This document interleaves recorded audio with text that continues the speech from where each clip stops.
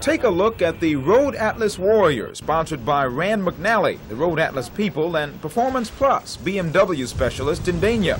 Together, they'd like to win the One Lap America Road Rally, and they've spent a fair amount of time and money to try and make that happen.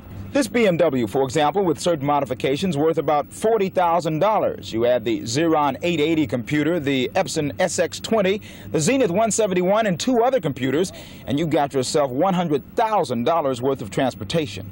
Counting backups, there are actually eight computers on board, all of them, and hopefully their trusty roadmap will keep the Road Atlas Warrior on track and on time. The number one rule in this road rallying is don't get lost. And if you've been on a trip, you, you can't do it without a map. And we're really not doing anything that somebody doesn't do when they load the kids in the car and go on a vacation. It's just that we're doing eight of them in one week. The rally will include 30 states and over 8,000 miles in that week span. Plenty of room to make mistakes. But with the most computerized car in the rally, DJ Lane and crew hope mistakes will be few. We take that uh, computer and plug it into our cellular phone in the car. We can dial the Rand McNally MileMaker database in Chicago.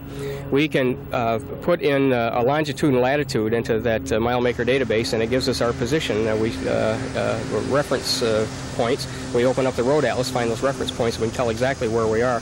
Obviously, the rally will require round-the-clock driving. That's where Performance Plus came in, providing the car they think is capable of bearing the load.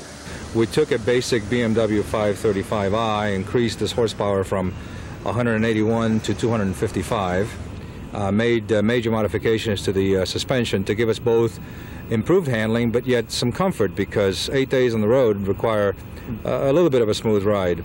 It was a $60,000 addition to a $40,000 car for a $15,000 first prize.